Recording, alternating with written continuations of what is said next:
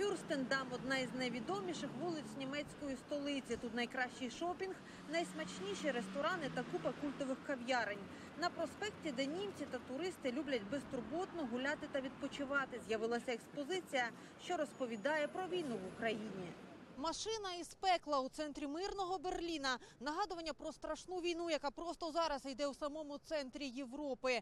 Автівка з українського міста Буча розстріляна російськими військовими.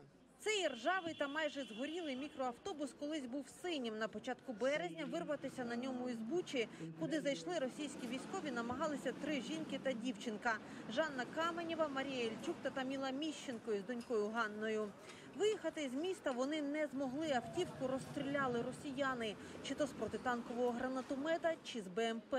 Вже після звільнення Бучі активісти знайшли бус на цвинтарі машин. А коли дізналися його страшну історію, вирішили вести авто до Німеччини.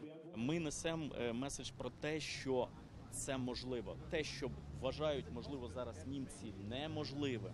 Е, Тим, що ніколи не станеться при е, такому фанатичному, при такому е, диктаторі, такому фанатичному народі, який зміг зробити це звірство з українськими жінками та дітьми, це можливо. На жаль, це можливо, і тому до цієї загрози потрібно відноситись реально. На відкриття експозиції прийшли десятки німецьких журналістів, депутати Бундестагу та дипломати. Український посол Андрій Мельник ще раз закликав уряд Німеччини змінити позицію і підтримати візові обмеження для громадян РФ.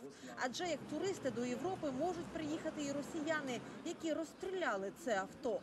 Ми не знаємо, хто вбив чотирьох жінок, які е, намагалися втекти е, у цьому мікроавтобусі із Бучі. Ми не знаємо, хто вони. І ми не можемо виключати, що ці люди, прикинувшись студентами, могли отримати німецьку візу, туристичну чи яку завгодно, приїхати сюди в Берлін. І коли ми з вами зараз говоримо, ці люди можуть стояти тут осторонь, пити каву і посміхатися. І в цьому полягає весь цинізм ситуації. Звичайно, не можна звинувачувати всіх, але ця війна, яка як- яку веде не лише Путін, яку ведуть росіяни, яку веде Росія, російська держава. Повз автівку з Бучі мало хто зміг пройти спокійно. Сльози не в змозі втримати навіть чоловіки.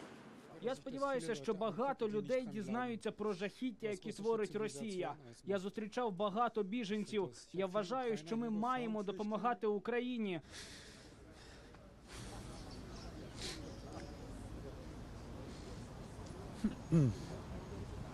Це все дуже страшно. Я бажаю вам усього найкращого. У Берліні машина із Бучі розповідатиме про війну в Україні до середини вересня. Потім її повезуть в інші європейські міста. Тетяна Лугунович, Слав Фролов, подробиці, німецьке бюро телеканалу Інтер, марафон. Єдині новини.